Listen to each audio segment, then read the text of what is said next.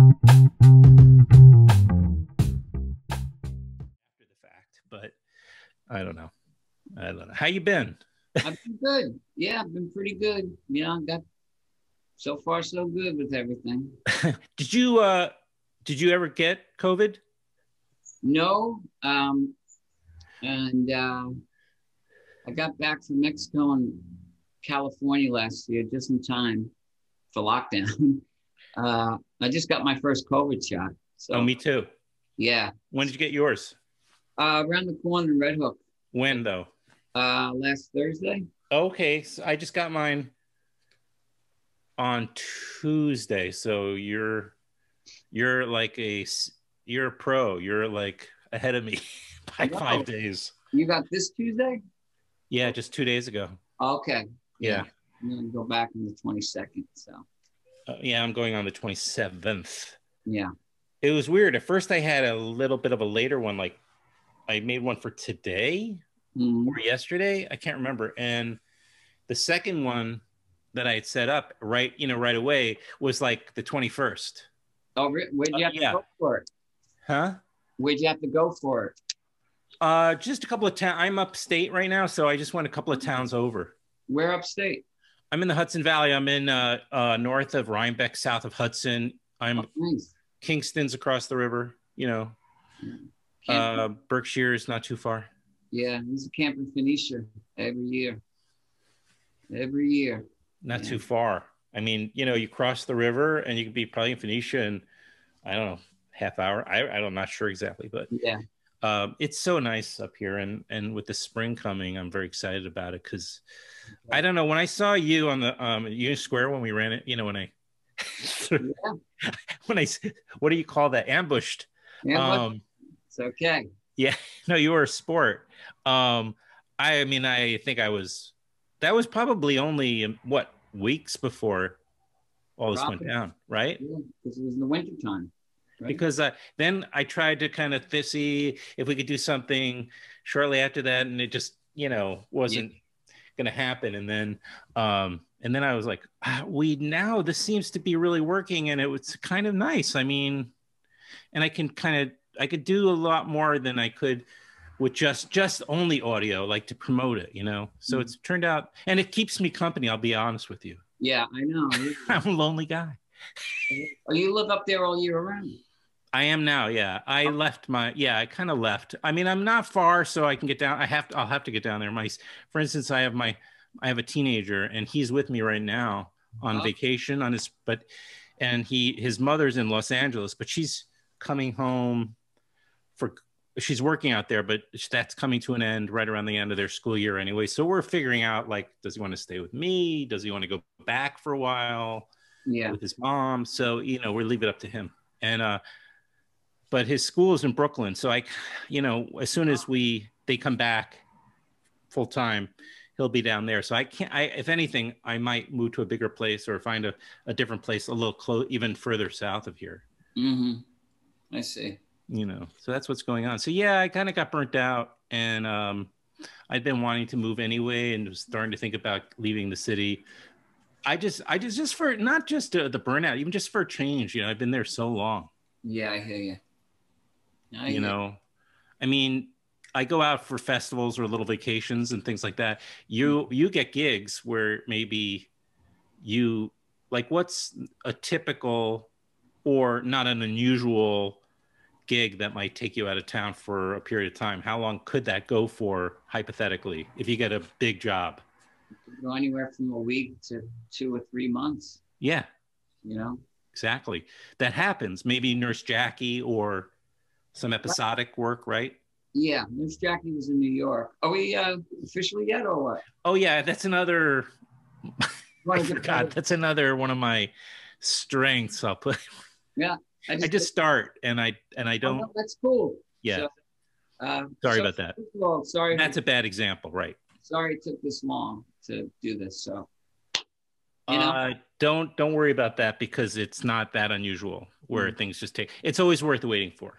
All right. Well, I'm ready. Yeah, ask away. Blah blah blah. I'm sorry I cut you off there. So Yeah, no, no. I So so okay. So but you might be gone for months. I guess my point is is it it it's it helps you get those breaks from the Oh, stress yeah. of living in a city like New York. Yeah, usually I go in the wintertime. I was going to go out in February, but you know, with the COVID, Right.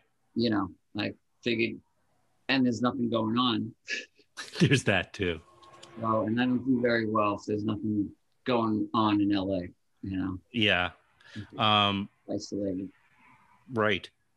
Uh, do you have a? I mean, I know mostly about the film work and stuff. Have you done much theater? I started off, um, I guess you would call it theater, but in the Lower East Side, back in the day when there was a big community before gentrification, um, there was, um, I fell upon this community, um, musicians, poets, um, actors, and a friend of mine, and um, I don't know, we just there was a place called ABC No Rio, which was around the corner from my apartment, which I had no idea. And I took an acting class with a friend that summer, Bill Hickey at HB Studios. Sure. And uh, we met someone there who brought us to ABC No Rio. And it's in Lower East Side on Livingston Street. And it's an old building. And you walked in, you, I walked in, I felt like I was in the Wild West. It was just it was a controlled chaos. And, you know, they had the Matthew Courtney was like the MC. And it wasn't like an open original, like a, uh, what's that word I'm looking for? Traditional open mic. You know, you just sign up. Matthew would get up there and do something and then uh, call on the next act. So me and my friend uh, Steve Cristiani, who I went to high school with, I don't know, we just started writing and performing there. So, right. Performing being the word. So it wasn't necessarily comedy or theater, but it was It was performance. it was like physical comedy. Oh, it was okay. Yeah, black comedy, physical comedy, um, and that lasted for nine years. Wow. Yeah. And it wasn't a money thing. We just, you know, we I stumbled upon it, and um, about nine years later, that's when people started moving out, getting pushed out Right. of New York, and the So- whole community just disappeared. So that was like the 80s, essentially, what we're talking about. Uh, 90s, uh. Oh, 90s. really? Oh well, late 80s, early 90s. Uh huh. Yeah. So I moved out of there in 97. I moved to Brooklyn in 97. Okay. Yeah. Back back to the neighborhood in a way. And I did plays in the East Village, Lower East Side, you know, Uh-huh. as well, you know, other people's plays. But um, if you want to call that theater, uh, performing. Yeah, it's why not? Yeah. Uh, so so was it and then in that culture where there was so much happening in uh, downtown um, in that period uh, i mean that was a kind of a uh, hot spot Yeah. I mean, for the arts, politically, you know, um, uh, community wise, it was just, you know, I caught the tail end of it, luckily, you know, because it was going on for a long time, you know, you know, from the Jim Jones days. And yes. Oh, I missed all those days, you know, I mean, I caught the very tail end of it, uh, of the Lower East Side. hmm but you were living down there right? So but you were what were you doing? Um, yeah, I was living on Suffolk Street between Rivington and Delancey, right around the corner from ABC No Rio, which I had no idea was there. right all that time. And you didn't need, you know, I had a rent control apartment, um, which I still have. I never give up a New York apartment, not if you're smart you know, and um, no one really needed a steady job. You know, rents were so cheap. And you get, get a job for a month and then you leave. You know, you got enough money for a while and then you just Uh-huh. perform, you know. Yeah, I don't know that people know that about New York City. That it really was like it was as though Wall Street swooped in. All of a sudden, they figured out some secret sauce, and Wall Street and you know the politicians kind of got, uh, you know the developers, in other words, got Yeah. together and they realized that there was a you know just an enormous amount of of money to be had. when I walked out and saw the New York Times delivered on my stoop for someone in the building, I knew something was going on. that that's the day I went. Oh man, yeah, huh? yeah. Okay. I remember like when I moved into Brooklyn the first time. There were two. I had two periods of time, but the first time was '87, Uh-huh. and uh, I moved into Carroll Gardens. Oh, wow. um, or uh, yeah. So I'm in Red Hook, so Yeah, yeah no, and if I was terrified at that young age to go, just even just to like my post office was in Red Hook, oh yeah, still there and right on Clinton, or was it or Court Clinton? on Clinton Street. Just there Yeah. Oh yeah. So back back then, we were, you know, like yeah, there was a lot of hype about how dangerous Red Hook was, and I'm sure that existed, but it was also really exaggerated, like um, to the degree where, uh, like a polite kid like myself who grew up in Forest Hills on the mean streets of Forest Hills, you know, was afraid to go into a neighborhood like Red Hook at the time to get my mail. Like if there was something special delivery there. Right. I mean, deep down in Red Hook, like where I am, was I mean, was I heard was really bad. You know, because when the crack epidemic came. Yeah, that's when we're talking about anyway. 87. Yeah. Yeah, that's that's what I heard, and I think it was on. You remember Life magazine or something? Or Life? Sure. What do you mean? Yeah. I think it was on the front cover about Red Hook was the worst city, worst place in the country, or something like that. Really? Dangerous, yeah. Wow. I would have to Uh, check. so maybe I wasn't wrong to be a little bit yeah. careful. So where where are you now? You're in Red Hook, right? You Yeah. said. Are you like closer to the Van Brunt area, that area? Actually, I'm right on Van Brunt. I used to be on Dikeman, that's next to the water. Yeah, yeah, yeah. And the uh, owner sold the house. I was living in the house, and then uh, found a place right across the street from the lobster tail, on, uh, on, in, uh, right on Van Brunt, the main street. So Well, I started seeing you not long after that, like I'd say in the 90s at some point. And you start your face started popping up in, in, in indie films, some shorts I had seen. Once I started really, really kind of getting into the right. into that, you know, I guess in the 90s, hmm I started. When did that start for you? Um, well, actually, when I left Manhattan and moved into Brooklyn, because we never made money, excuse me, made money performing. I mean, it was just for the love of it. I know. Yeah. If anything, we we spent money, you know, Yeah, right. Exactly. On drinks or whatever. and it was just like being in the moment. I never thought of, you know, I was in the moment. So I remember waking up one morning in Brooklyn, and I went, "Oh my God, what the hell do I do with my life now?" Because it just that that disappeared, and I never knew what I wanted to do. Um, and then, like a month, I don't know, a couple of months after I moved to Brooklyn, I got a commercial agent, and I started doing commercials, you know, pretty quickly hmm and um, and then slowly started doing short films, and then Right. Was it your? Did you just kind of like the? It seemed like maybe you were figuring it out as you went. You didn't have some grand strategy, but, but. I I'm still winging it. Yeah, I got you. Me too. Um, but I, I mean, did you like doing commercials? Did you think, oh, this is cool, and then you know maybe you figure out like how you do that really well? Well, the mean, commercials that- that they had at the time, you know, it was before the internet when everything changed, Uh-huh. and there was a, a lot of like offbeat commercials being filmed, and they were like mini films actually. These, Uh-huh. you know, um, and uh, I liked doing it. They were like to me, they were like little short, short films. Yeah, Mhm.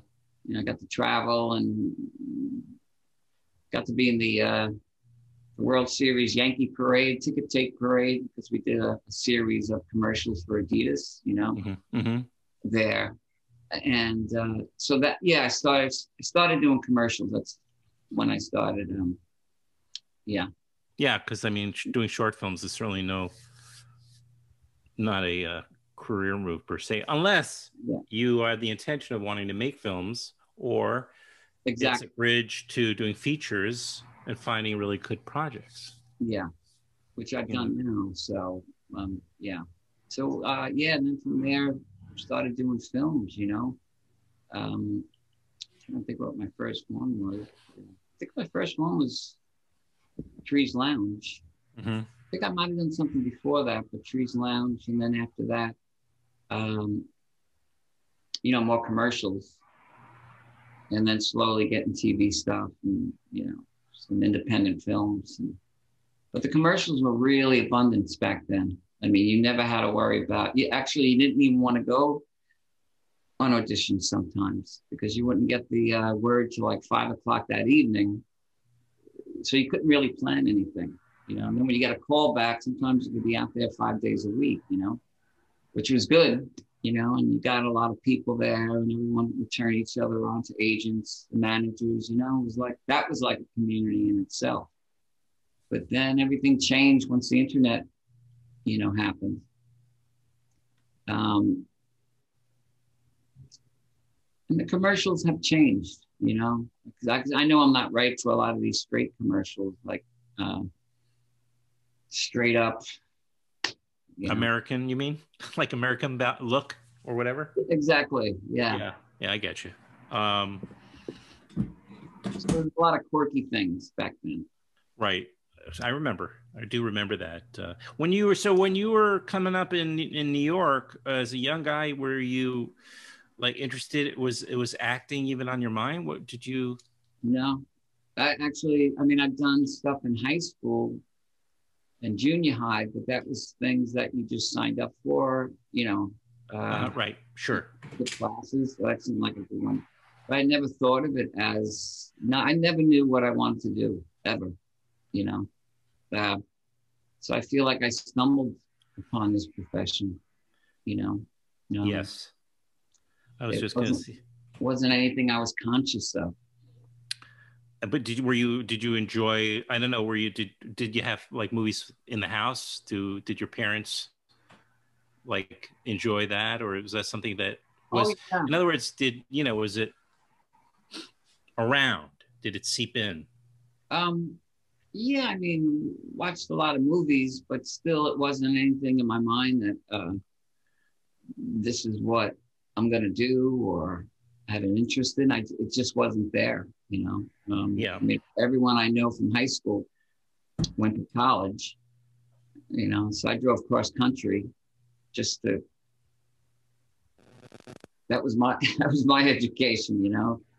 Uh, but no, I never went to college and because uh, I never knew what I wanted to do. Yeah. And, uh, hanging out in the city, you know, in the beginning when I first moved into the city, was just basically living for the weekends before I got into performing. Sure. You know, and actually when that stopped, it was like literally overnight that uh, seemed like then I found ABC No Rio. And all that energy went into that. Yeah before the energy was into party. I I understand. Say, it was it was it was a fun time to be a young guy, young person in in New York yeah, City. It was. And as he, yeah, so it's it was very tempting to you know do that. Yeah. Yeah. Um, now wait, it, okay. So you saying I'm just I just decided to look up some of the films. I have a cur- I have a question for you. Now I can't remember what how I'm certain this is not a very big or substantial role, but you are were in River of Grass, which was Kelly Reichardt's oh, first yeah. film. You know something? Does it say the year there? Yes, it does. 1994. That was my first film. Yeah. That was your first one. My first film. I oh, believe. Oh, I, or feature. That's right. You're right. Yeah, you had done a couple of little shorts, maybe, but with Larry Fessenden and that's right. Yeah. And Larry, by the way, he's great he's, guy. he's well he splits his time between probably right near where you were talking about where you were living he's in the east you know east village and then he's also up here he's very close to where i am right he's up there too he's been coming out to red hook because of the production place a friend owns and his son did a film so yeah he's been working on that yeah right but jack yeah jack yeah he's uh, such a great guy the Jack I haven't seen. Well, I was talking about Larry, but sure, Jack too. Oh, Larry's the whole family. Yeah, Beck and uh, yeah, yeah. Larry's great. I, I, really glad I got to know him back then, and it was fun. It was it was a lot of fun that film. How did you get that? Was that I don't I haven't seen I have a copy. Mm-hmm. I think a, um, Oscilloscope released it, mm-hmm. um, and I and I got a copy from them, but I haven't seen it in a long time, and I'm I couldn't remember you in it, but I wasn't. Again, I don't remember just about anybody in it because it's been a long time. But yeah. I, I, was wondering how you was that. That was through Larry. No, it was through. I uh, met Larry through that. Uh, right. Kelly, I knew Kelly. I didn't know her well. Uh, I think I knew her from the neighborhood. Mm-hmm. Uh, and she asked me, and she, yeah, she asked me uh, to be in it. So, you know, it was great. I mean, I love her films to this day. Oh know? yeah, it's really something. I know she's managed to sort of grow to the like she's sort of at the top of that sized film, you know? Yeah, exactly. Yeah. Where, you know, it's like they get the best actors want to work with her and you know, but it's it's not quite indie, I guess. Mm-hmm. Too a little bit big for that, right? But she's she's a great filmmaker. Yeah. Great person too, yeah. Uh, so that right. yeah, that was a that was a really good experience to get a taste of, you know, what a feature film was. Uh huh. Like yeah. Um and and did you was it a substantial role in that? I can't remember. Um. I mean, Larry was uh, the lead, and Lisa was the lead, and I uh-huh. played uh-huh. Larry's friend. So okay. So I felt like I had some good scenes with him. You know, I enjoyed it. You know. Sure. Uh, I had some fun scenes with them. I got to watch that again. I think it's time to pull it out because mm-hmm. I'll probably appreciate it on a new level, you know. Because, yeah, I should watch it myself. She just had a screening about a month and a half ago somewhere. That's yeah. She she uh I know I've seen that where it's like it's still yeah. There's a lot of interest in in her career, and that film is is still kind of not as widely known, you know. So exactly, you know, exactly. uh, but it's a great breakout film, you know. Yeah, I guess it was like, what was it called? Something Wendy and Lucy. Wendy and Lucy, yeah. That was kind of the one that maybe kind of opened it up a bit. Yeah, good movie. Because Michelle uh, Williams was in that. Michelle Williams, yeah. Yeah, that was. Um, so you were on the Sopran. You did an episode, one episode of The Sopranos. Okay. Yeah, got yeah. It was John Heard's partner, and when. Uh, oh, that had oh now there's. Did you know John Heard? I met him that day. Okay. But um, the thing was, you know, David Chase. You know, you you never um, we never cast another actor for another role. You know that role. So once his character jumped off the bridge, I knew I was out because I was his partner. So when his character, you know, commits suicide, takes his life, and as soon as I saw him go over that bridge, I went, "All right, I'm not going to be in this no more." that, that sucks. It. That had to be very frustrating. For you know, something was frustrating for him. I know. Uh, yeah. I know he was very yeah. Uh, so. I do know also he was in the or cast. Uh, I just read this book on Mike Nichols. Mm. Mm-hmm and um, John Heard was cast in the he was in the original cast of the Broadway. I think it was Broadway. Could have been off Broadway. It had to be Broadway. It was Mike Nichols. Um, cast of uh, Streamers. Remember that play? No, no. It's about an army barracks. Uh huh. And um, I think Vietnam, but I it, I could be wrong. It might be could be an earlier war. I'm, I'm not 100 percent sure. I I don't know that I've ever seen it. I think I saw the Robert Altman made a film version of it, but in the play, um, John Heard was originally cast in it. But you know, Mike Nichols wanted everybody like move the dialogue, just keep things moving. It's quick, quick, quick. You know, mm-hmm. but Heard was very deliberate and very you know like he was an actor's actor and he didn't want to say anything without understanding why without feeling it you know, right, kind of method guy, right? So, um, and it just drove her uh, Nichols nuts. Really? And he got fired. He got fired. No, really? Yeah, he was very upset. so, oh man, that's a shame. Yeah, Well, he certainly made up for it in a lot of great roles over Oh, the years. great. So Yeah, I, re- I, I liked him as an actor very much. So. I love that guy. Yeah, I would always look forward to seeing him, and it was sad that he died even as young as he did. and he was in um After Hours too. Like, like, Oh, right, of course. You know. Yeah. Um, yeah, that was fantastic, right? And I so was um, Catherine O'Hara, right? Wasn't she in that? Was she? Um, I think she. Yeah, I'm pretty sure Catherine O'Hara was Catherine O'Hara was in that, and of course, then they would come together for the Home Alone movies. right. Um, but I think I think that's I think so.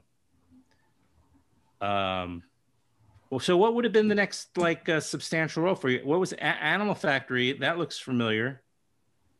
Yeah, that was um. Happy Accidents. Yeah, that was um.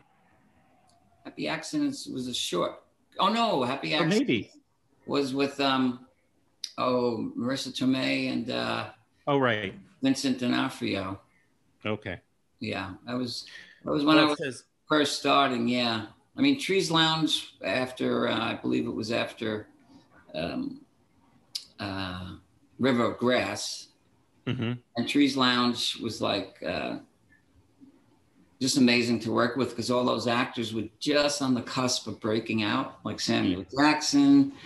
Um, oh, there was so many wonderful actors in there that it was really mind blowing. You know. Yeah, I haven't seen uh, Trees Lounge. I remember. Is that that's what you're talking about? Trees Lounge. Yeah. Yeah. I I remember seeing that when it came out in the movie theater. hmm Yeah, it was a fun experience, and then to act, you know, get an opportunity to act with my brother was is always special. You know. Yeah. Um, have you had uh, opportun- many opportunities to do that, or did you intentionally try to keep distance, or to? No, I mean, if something happened, it happened. I mean, we did this. Um, um, two things. Um, geez, I forgot its name. Um, Vince. Uh, Vincent Van Gogh's grandson, Theo. Theo, yeah, He was a uh, talk show host and he was a filmmaker. yes, And he did these three films that they brought over to America that somebody produced. Um, and my brother directed one, John Turturro directed one, and Stanley Tucci directed one. So, and the one that my brother directed, uh, I played a um, person in a psychiatric ward. You know, it was Mhm. no words. Uh, he would be doing this monologue, but it, was so, and it was so engaging. I mean, I didn't even need to see the uh, playback because it just felt so good, you know. And then after that, we did uh, this thing called Park Bench. hmm It was on AO, AOL, which I didn't even know existed at that time. But uh, Are you saying so they had their own kind of platform? yeah, Uh-huh. they had a couple of series. They were pushing series back then a couple of years ago. Mhm. So we did it for two seasons. Oh, And it was really that it was a blast. It was a Mhm. blast. Yeah, had good guests, a lot of wonderful guests, and there was you know some a lot of funny stories in there. But, um, what uh, what's what is your approach like? Uh, what kind of uh, style do you, do you have? Are you? I mean, like what? What's your method? I guess if you have one. I'll repeat you- myself. I'll repeat myself. I feel like I'm just winging it. Don't say that though. Somebody maybe might want to cast you. I know, no, no. I, I'm. Uh, no, the dialogue for me is the most important at first. Yeah, sure. You know, because um, the dialogue. If I get the dialogue, and then everything starts kind of flowing from there. For me, anyway. Mhm. You know. Uh, you know, I, I don't do a lot of research or anything. You know, I just kind of get an idea what the character's like from the script. Mhm. And if the director wants to make any adjustments, you know, he does. I don't know if I'm answering your question much. Sure. No, no, sure. I understand. Right. Yeah. Uh, Um, yeah, um, and because something like, um, have you had uh, an instance where it was really a, a, an especially demanding role? I mean, I remember, for instance, on there was a lot of physicality to uh, uh, when you. I remember watching Nurse Jackie, you know, uh, Bandit, uh, Edie's, and um, I just remember, like, I really enjoyed you in that series. I loved it. Yeah, Uh, yeah, because I was only supposed to be in one episode. I think you you played God. Yeah, yeah, Right. yep. and uh, it was supposed to be that one episode, and then they uh, decided to keep the character around. Yeah. So I was very grateful for that. Every year, There's the opposite of The Sopranos, where both, Uh-huh. by the way, with Edie. oh, and- Evie, if you can, God, I mean, watching her there, it's just a reminder of how much of a wonderful actor she is. You know, from The Sopranos, different character, and it was so different. You know, she was. Different. Oh yeah, So, um, and that working with all those people was just fantastic. Uh, I felt like I got very fortunate.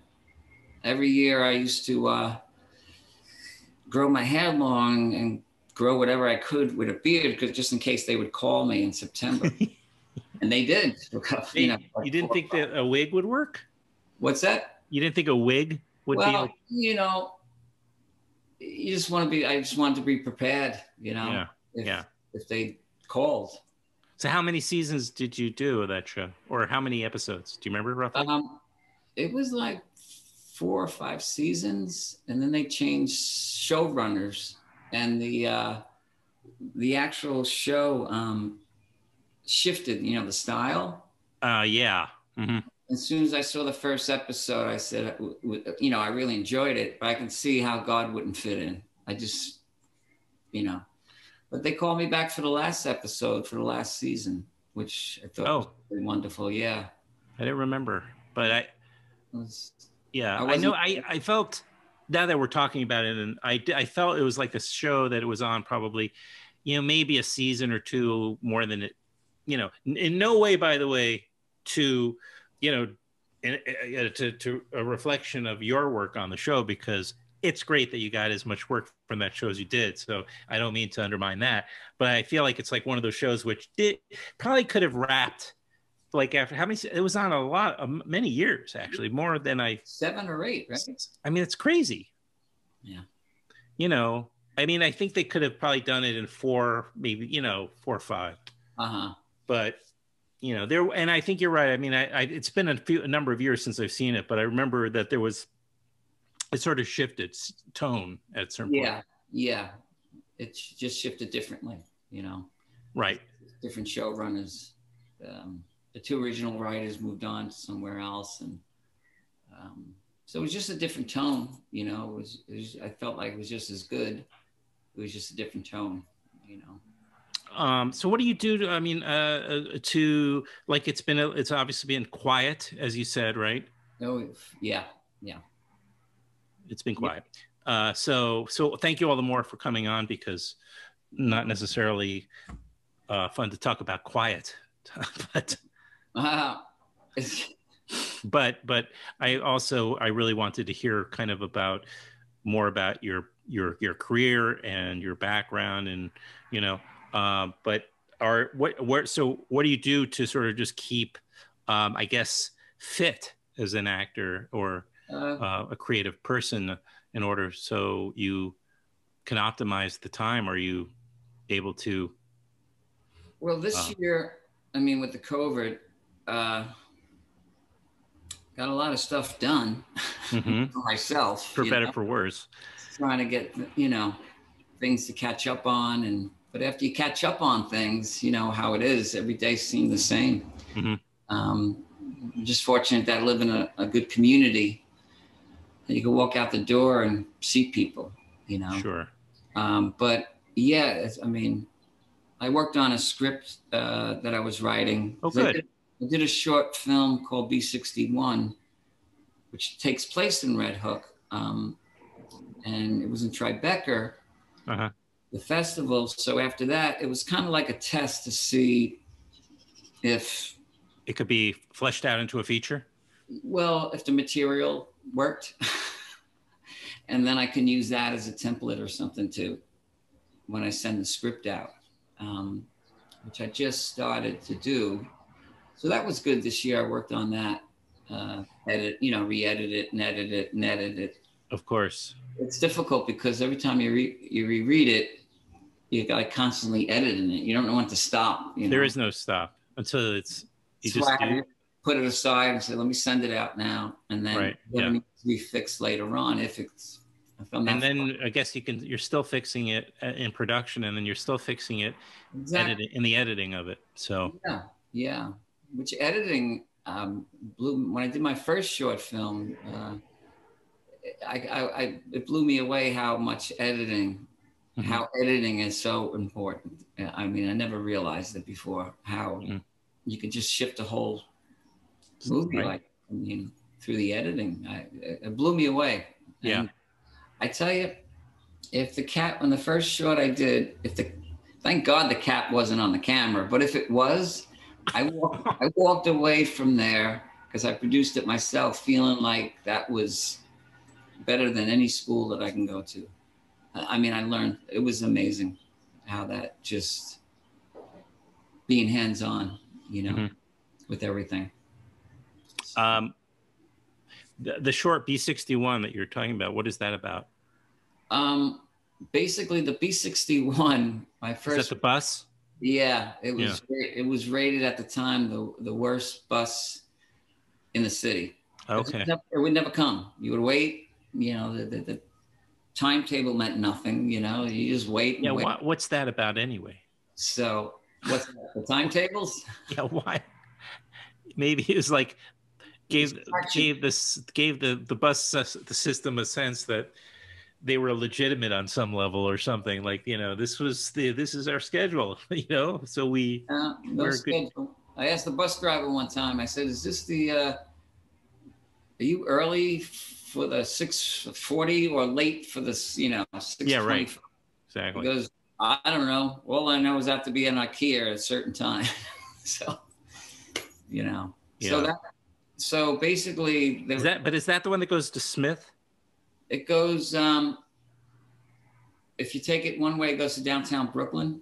okay You take yeah, it the I've been other on that one yeah It goes. I think that's the 57. It goes down Smith. Um, okay The other the way. one that goes- picks you up from Smith Ninth I remember that bus but, but anyway Yeah, oh yeah, 9th Street. Yeah. Uh, Yeah.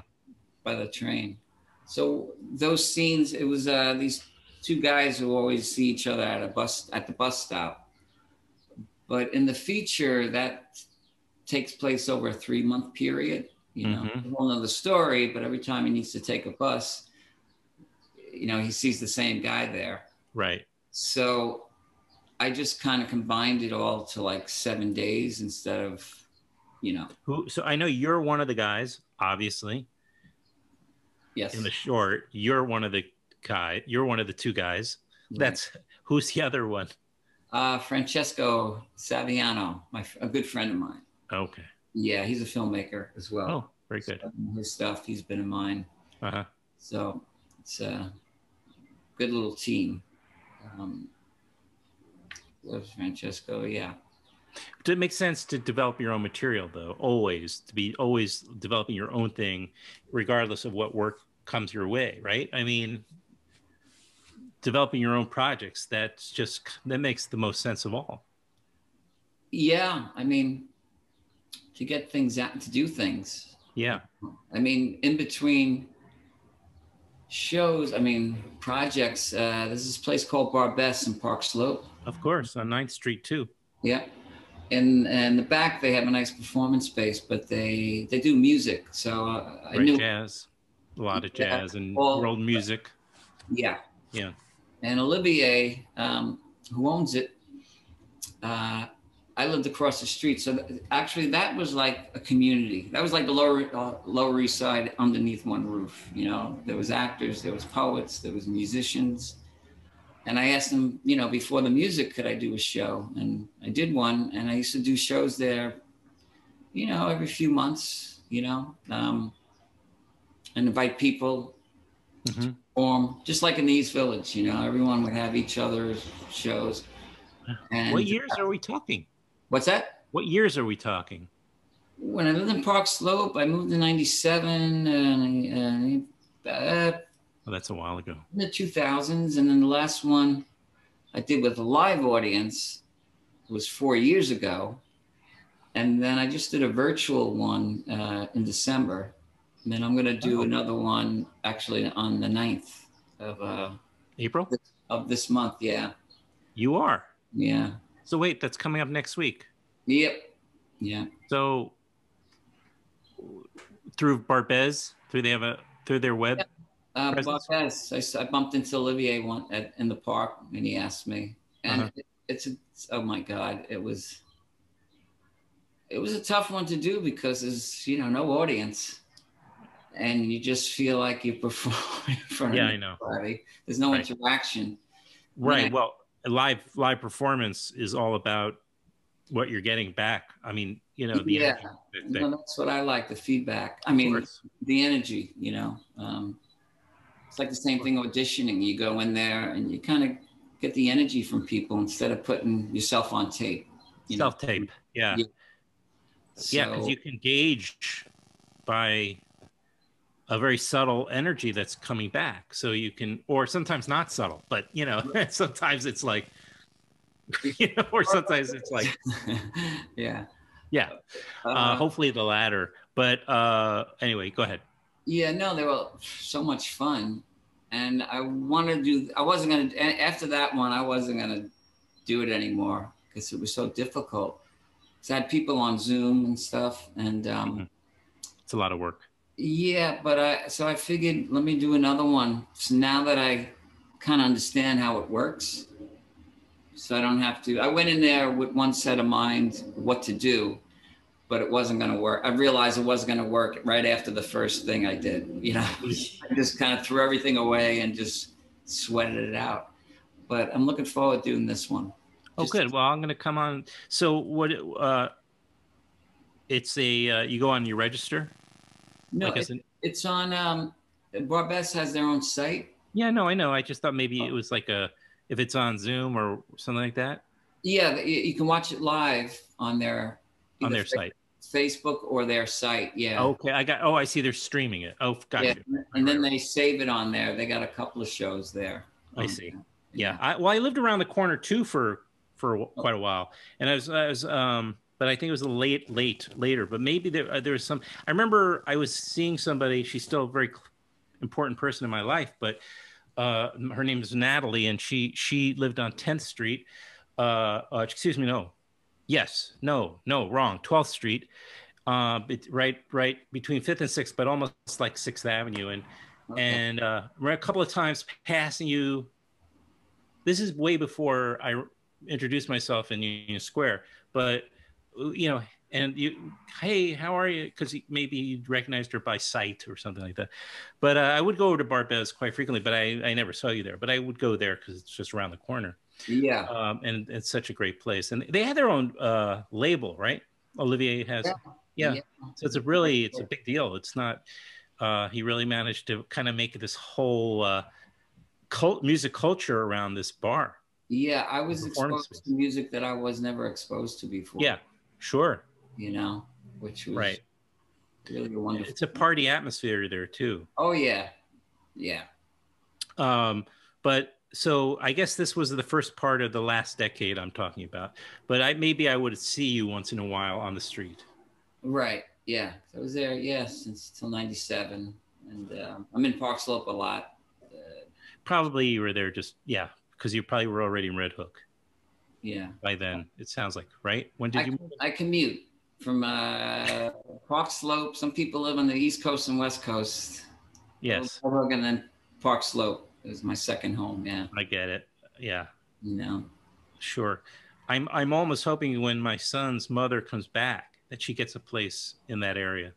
Park Slope or yeah or yeah. Well, I think that's it's I well you know it, they for all I know she'll move into Manhattan, which because I'm talking in broad terms now, but it's almost as cheap just to live in Manhattan again.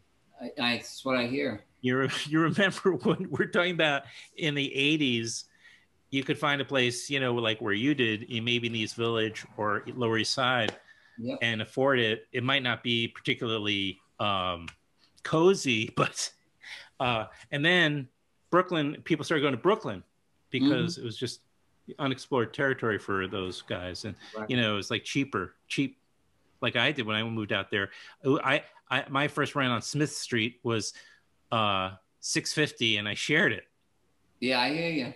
so I was paying like 350, yeah. 325 a month, and um, so I decided to just live, you know, take over the place. But um, and then uh, yeah, now people are just moving back because Brooklyn's got so expensive. So yeah, I feel like I live in the country. This is the country for me. Yeah, you know, really, you get off the subway, you got the sky. It's just.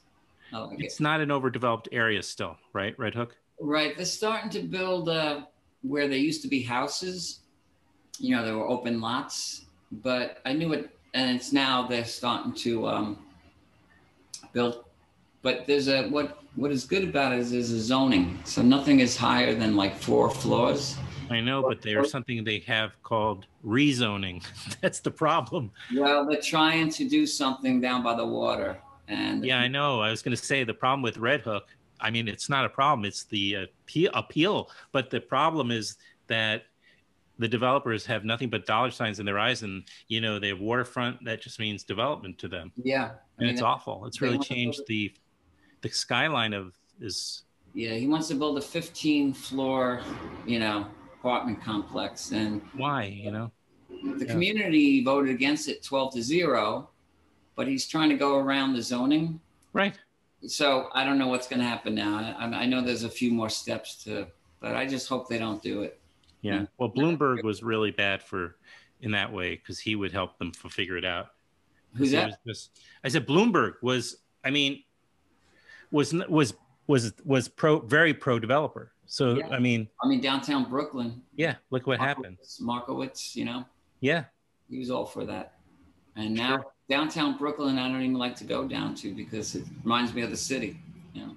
Exactly. Yeah, and um, oh, it's a very big thing. Uh, like subject that gets me pissed off. It's kind of one of the reasons why I left in a way too, because I felt like my city that I grew up in. Yeah. You know, but I don't want to. I'm I'm I'm becoming the angry guy on his lawn. You know why I you know. You yeah, know, I, I had to unlearn that. I know. yeah, you can't. You can't. If you're going to do that, just go. Yeah. Just get out because cities change. It's true. I just think that there's a natural way, and then there's this way, which was very you know a different story mm-hmm. where it was more like you know all these guys saw all these how to get extraordinarily rich and they kind of screwed with new york city's the fabric with the soul of the city. Mm-hmm. and you know so it's difficult. It's a difficult thing to see. Yeah. So that's kind of another reason why because I, I i absolutely did not want to feel frustrated by that what i was seeing you know. Yeah. I mean red hook i feel like i just wish they would leave it alone. Such of a course. it's such a character it, yeah, it's a little gem that it's different than Williamsburg. It's different than any other place along the water. You know, yeah, it actually feels like a small fishing town somewhere. You know, so, is fish and fish? What is it called? Is the bait and tackle? What was it called? That that bar? Oh yeah, right across the street. Uh, oh really? They uh, Barry, who owned it, uh, they jacked up his rent. And yeah. He, he was doing it for 15 years and just said, you know, forget about this. So now there's a place, uh, some people from Pioneer Works invested, and they uh, it's called San Pedro now. So okay. tacos, and it's still a bar. Right.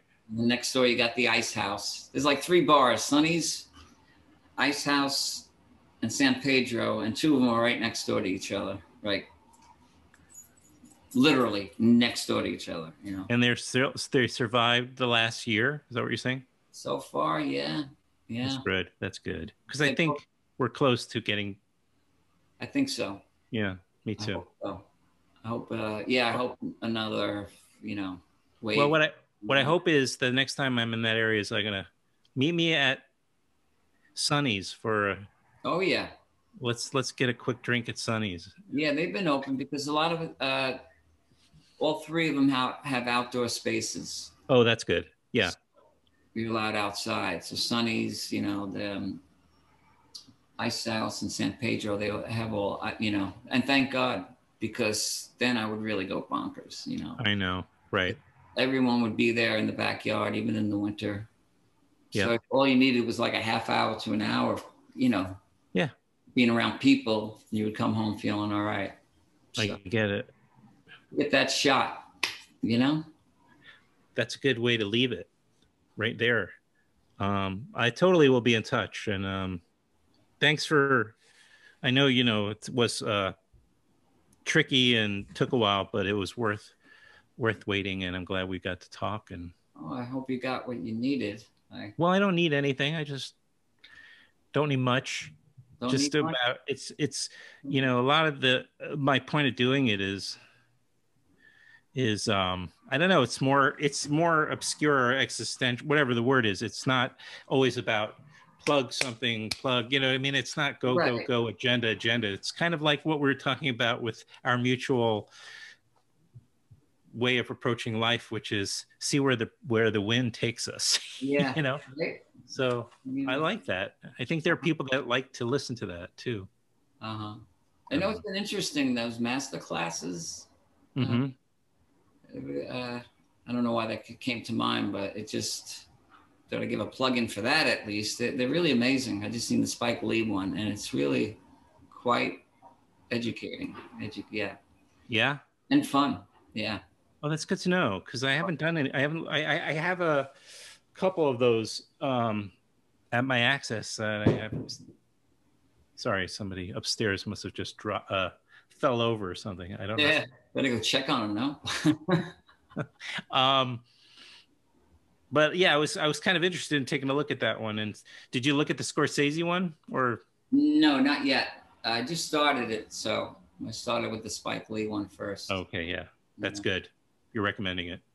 Yeah, especially since you know when we when I worked with him, he's just he's a splendid guy. You know, he's just Yes, I'm I'm pretty good. I'm also kind of friendly with his brother. um Think yeah, he's a great guy. He's a sweetheart. He also he kind of lives. Well, I guess maybe I shouldn't say, but he's in the South Slope, South Gowanus, Slope? Sunnyside. Well, he's like on the cusp. I guess he's still in the slope. Yeah, I haven't seen him in well, I seen about a year and a half ago for the first time in years. Yeah. Mhm. Um but yeah, he's great. His whole family's great. His sisters, his sister is great. And they're both they're wonderful actors too, Yeah, yeah, you know? yeah. So um yeah. Well, hang in there and um, enjoy the spring to come. Well, when it comes, when I'm sweating, then I'll know. there you, there you go. I'd rather sweat than freeze. So What's that?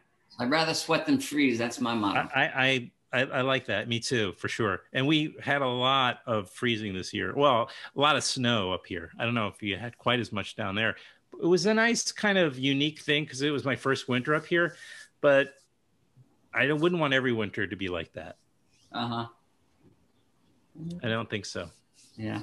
But it was okay for one winter. But now I'm ready for the heat. This- right. You know, upstate. Anyway, thank you very yeah. much. Thank you. Um, Yeah, shake your hand, but you know, COVID know. can't do that now. right. That's why. Give you the bump. There you go.